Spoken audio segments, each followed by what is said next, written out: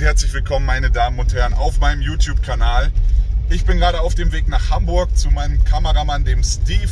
Und dann haben wir eine kleine Studiotour geplant durch Hamburg. Drei Studios insgesamt wollen wir in Hamburg und Umgebung besuchen und dort Trainingsvideos für euch abfilmen.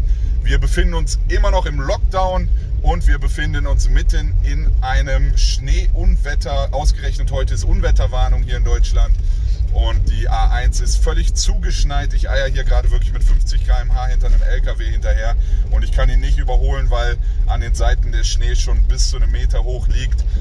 Und eine Pipi-Pause ist leider auch nicht drin, denn ich habe auch schon mehrere Autos gesehen, die bei den Auffahrten zu Parkplätzen einfach stecken geblieben sind. Das heißt, ich ziehe hier einfach durch und ich hoffe, dass das hier nicht das letzte Bildmaterial meines Lebens wird, sondern nur das Intro zum eigentlichen Video. Also viel Spaß, Leute. So watch me.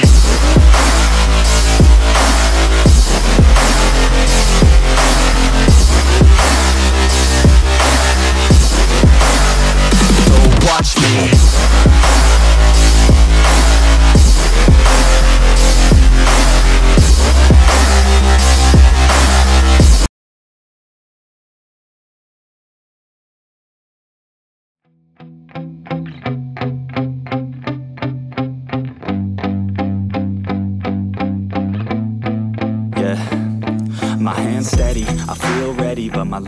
Heavy, I don't get it How come I haven't hit it already? Still working, I'm still learning, I'm still searching Finally earning something, finally turning something called a So, ich bin mittlerweile angekommen in Hamburg und ich bin hier im Formfit zum Hardcore-Beintraining, wie man sieht. Nein, ich mache mich gerade warm und wir haben hier ein wirklich super tolles Studio entdeckt. Das ist das älteste Studio in Hamburg und hier gibt es einen so geilen Gerätepark für die Beine, dass ich das trotz dass ich seit drei Monaten die Beine nicht in einem Studio trainieren konnte, jetzt in Kauf nehmen werde, dass ich wahrscheinlich eine Woche Muskelkater bekomme, um euch einfach hier mal zu zeigen, was es hier für schöne Oldschool-Geräte gibt. I'll be popping off and hit your ass, dropping all your shit. Yeah, I promise this. I got promises. You ain't stopping this. So, ich starte mein Beintraining generell schon seit langen Zeiten mit dem Beinbeuger, denn bei mir ist der Quadrizeps sehr dominant und auch jetzt im Lockdown muss ich sagen, kriege ich meinen Quadrizeps besser aufgepumpt als die Beuger. Und deswegen nutze ich natürlich jetzt auch diese Trainingseinheit, um da ein bisschen dem hinterherhinkenden Beuger ein bisschen einen Reiz zu setzen. Und da kann ich sehr empfehlen, wenn ihr auch den Beuger als Schwäche habt, schön erstmal Beinkürz machen, bevor ihr irgendeine drückende Bewegung macht, um einfach den Fokus darauf zu setzen. Consequence I got this, I will not quit. Man, I'm on it, honest I'm gonna launch quick, then I'm gone It's just a matter of time Before I'm over the climb And moving under my prime. Just quit my 9 to 5 I'm rocking, and they watching Cause it's shocking. Dropping all these top 10 songs, so stopping It's time to live my life. It's time to live So, jetzt habe ich die Beinbeuger schon ein bisschen müde gemacht. Ich merke es auch schon, jetzt kommt erstmal eine schöne drückende Übung. Ich muss sagen, ich mache zurzeit keine Kniebeugen, weil das meinen Knien auch einfach nicht gut tut und ich zum Glück das nicht unbedingt brauche, weil die Beine doch relativ eine Stärke sind. Ich konzentriere mich da eher auf verschiedene Beinpressen. Hier haben wir eine riesen Auswahl, aber ich habe mich auf jeden Fall erstmal dafür entschieden, eine vertikale Beinpresse. Das ist was ganz Besonderes, das gibt es nicht oft. Man liegt hier, drückt nach oben und kann nicht vom Sitz abheben, wie das jetzt bei 45 Grad Beinpressen oft das Problem ist. Ich brauche natürlich auch noch ein bisschen Gewicht.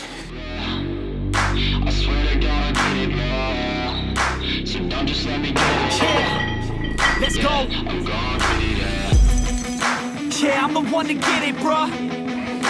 I swear to God, I'll get it, bro. Hey, I ain't never giving up.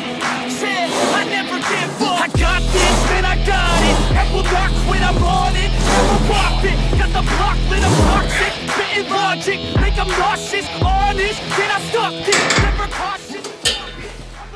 Sehr schönes Gerät. Ja, ich brauche mehr, mehr Gewicht auf jeden Fall. grünen Scheiben, die sind gleich 50 Kilo. Ja, das ist besser.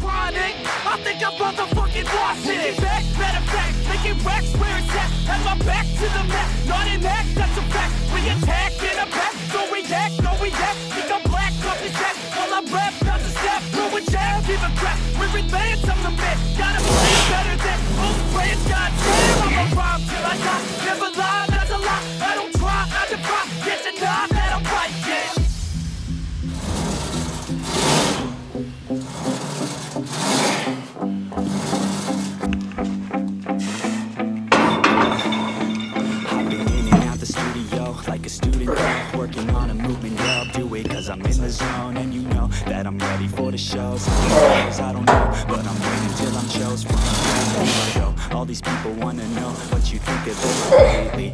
Me,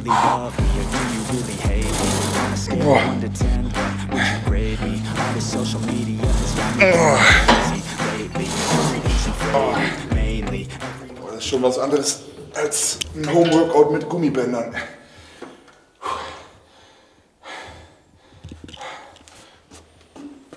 Boah, ich bin echt nichts mehr gewohnt durch den Lockdown.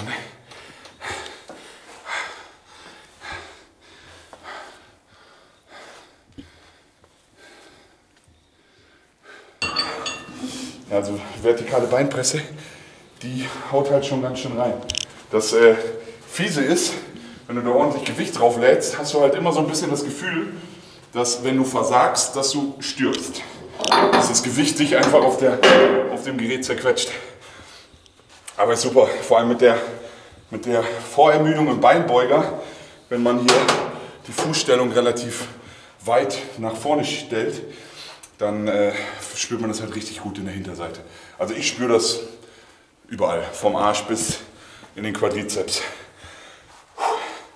Also wenn ihr mal die Möglichkeit habt, mit einer vertikalen Beinpresse zu trainieren, finde ich um Welten besser als horizontale Beinpressen. Wichtig hier, weil ihr wirklich braucht und so, ne? das muss ich halt immer so ein bisschen austesten.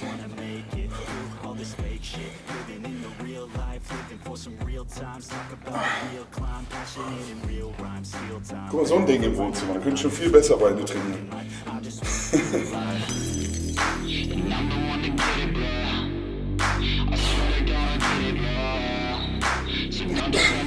Yeah, let's go. Yeah, I'm the one to get it, bruh. I swear to God, I'll get it, bruh. Und das Ganze machen wir jetzt gleich noch andersrum. Da hat man so ein bisschen den Schwerpunkt verlagert. Ich muss sagen, ich spüre eigentlich jede Beinübung extrem gut im Quadrizeps. Aber grundsätzlich bei der Fußstellung von gerade spürt man halt mehr die Hinterseite, die spüre ich auch sehr gut. Bei Beinen habe ich zum Glück gar keine Probleme. Aber wenn ihr mehr einen Schwerpunkt auf den Strecker legen wollt, dann sind Frontkniebeugen immer sehr gut. Und die an der Langhantel frei zu machen, ist mit der Oberarm- oder beziehungsweise Unterarmmobilität nicht für jeden geeignet. Und da ist das hier eine super Alternative. Fucking master it. Put 'em on blast, kid. They will never last, kid. Don't be so dramatic. Not my demographic. This shit is democratic. They phone effects, yeah, bitch.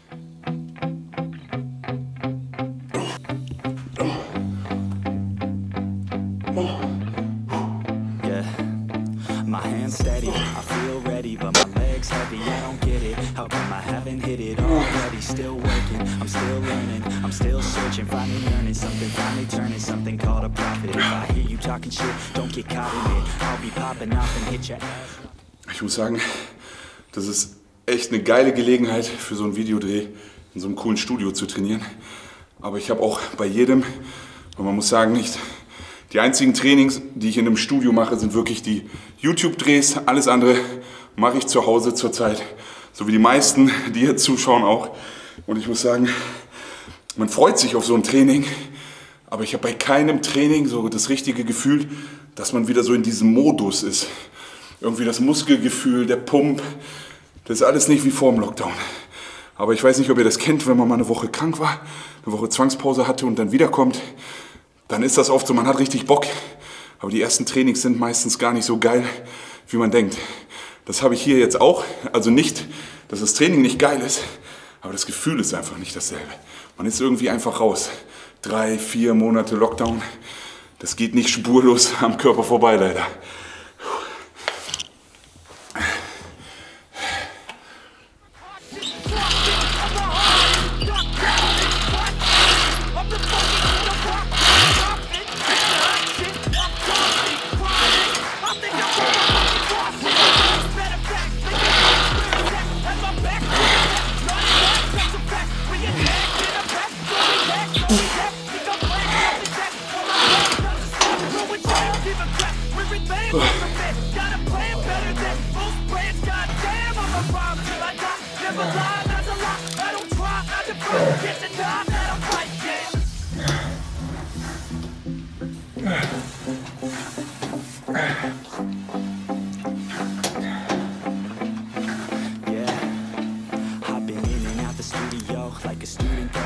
So, ich gehe im Training immer ein bisschen nach Körpergefühl. Ich hatte jetzt gerade einfach das Gefühl, dass doch der Quadrizeps wieder übernommen hat im Beintraining.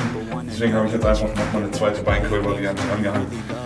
Heute stehende und liegende Beincurls, was auch sehr zu empfehlen ist, dass man liegend und sitzend kombiniert, weil gerade das Sitzen ist einfach nochmal ein anderer Winkel. Aber heute gehe ich so ein bisschen just for fun. Da habe ich einfach mehr Bock auf so einen schönen alten Beinbeuger. some real times Talk about the real climb Passionate in real rhymes Steal time back from my 9 to 5 Taking back my fucking life I just wanna feel alive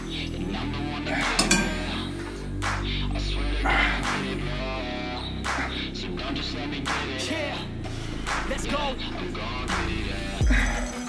Yeah, I'm the one to get it, bro I swear to God I'll get it, bro Hey, I ain't never giving up.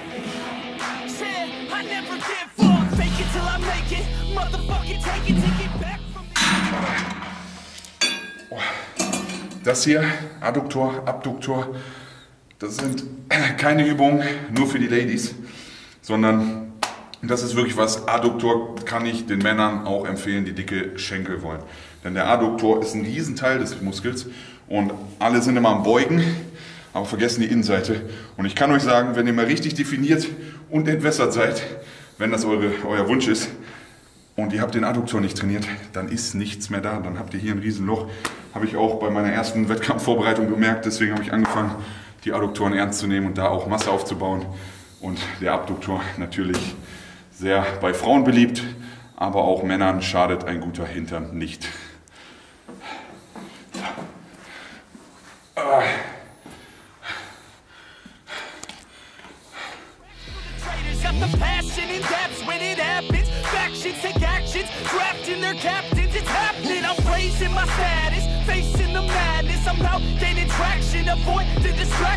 Snapping, no captions, attracting reactions, adapting, attacking, commanding the masses. I'm practicing habits. I don't fucking ask bitch. I just fucking grab it. I am never static, massively active, expanding, backslid, playing into habits. So I will never capture it, I'ma stay after it. I'm gonna fucking. Zum Abschluss, letzte Übung für heute, mache ich noch ein bisschen Waden.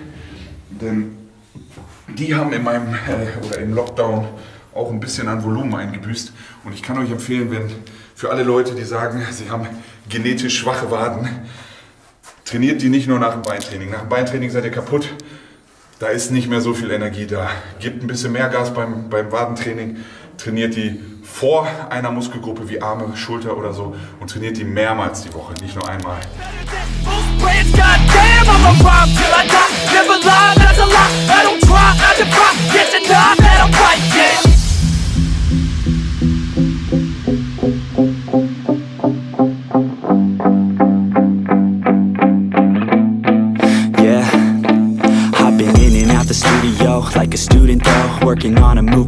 Do it cause I'm in the zone. And you know that I'm ready for the shows. How it goes, I don't know. But I'm waiting till I'm chose. Run, row, here I go. All these people wanna know what you think of them lately. Do you really love me or do you really hate me? On a scale of 1 to 10, what would you grade me? All this social media has got me going crazy lately. Everything's inflated, mainly. Everyone's invaded, privacy is naked. Man, I really hate it, God, I really hate it. I just So, das war mein Beintraining hier. Ich hoffe, es hat euch gefallen. Ich werde auf jeden Fall die nächsten Tage leiden. Und bevor ich jetzt hier die Treppen hochhumpel, wollte ich noch sagen, ich habe auch noch ein fettes Gewinnspiel für euch von meinem Sponsor Legal Power. Gewinnspielbedingungen, die werden alle eingeblendet, ebenfalls der Gewinn. Ihr wisst Bescheid. Wenn euch das Video gefallen hat, gerne liken, teilen, euren Freunden Bescheid sagen, Oma, Opa, alle, die davon profitieren können. Ich mache mich jetzt auf den Weg. Bis dann.